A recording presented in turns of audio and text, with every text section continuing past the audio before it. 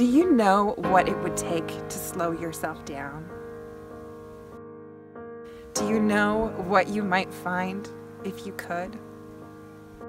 I went for a year without the internet, and instead of finding social commentary, I found my soul. This is my testimony that even in this crazy busy world, it is possible to slow yourself down. And in that slow and silent, you just might find your true self begging for you to reconnect. If you've heard it said that God can be found in the silence and silence can be found in God, it's fair to say that I found both at the same time.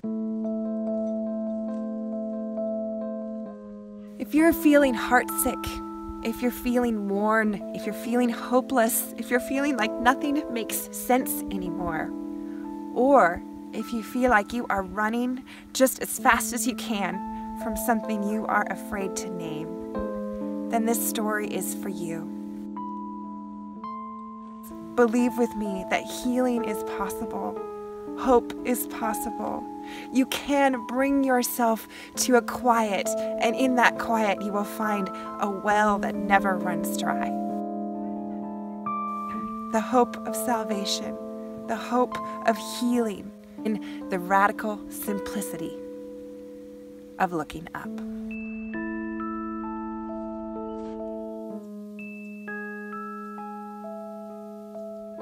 I'm Esther Emery. My book is called What Falls from the Sky